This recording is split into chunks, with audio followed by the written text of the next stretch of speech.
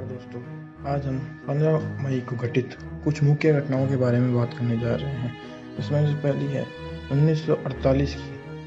पंद्रह मई 1948 यानी आज से बहत्तर साल पहले, फिलिस्तीन के लिए ब्रिटिश जनादेश की समाप्ति के बाद मिस्र Transjordan Lebanon, Syria, Iraq और सऊदी अरब ने इसराइल पर आक्रमण किया और इस तरह 1948 के अरब इसराइल युद्ध की शुरुआत की थी। दूसरी घटना अठारह की। पंद्रह मई अठारह यानी आज से एक सौ छप्पन साल पहले अमेरिकी गृह युद्ध, न्यू मार्केट की लड़ाई। वर्जीनिया वर्जीनिया मिलिट्री इंस्टीट्यूट के छात्रों ने संघाट सेना के साथ मिलकर संघ के जनरल फ्रांस सिंगेल को सेनानडो घाटी से बाहर करने के लिए मजबूर किया था। अगली घटना 1850 की। पंद्रह मई 1850 यानी आज से 170 साल पहले, उन्हीं द्वीप नरसंहार, कैलिफ़ोर्निया के लेक काउंटी में हुआ था। जिसमें संयुक्त राष्ट्र अमेरिका कैवलरी की एक रेजिमेंट द्वारा बड़ी संख्या में पोमो भारतीयों का वध किया गया था।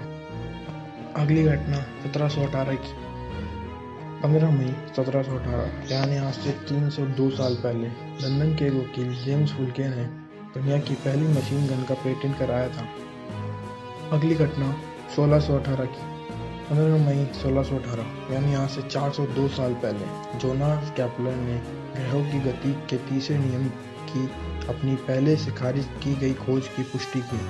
उन्होंने पहले बार 8 मार्च को इसकी खोज की, लेकिन जल्द ही कुछ प्रारंभिक गणना किए जाने के बाद इस विचार को खारिज कर दिया गया था। अगली घटना चार सौ पचानवे की।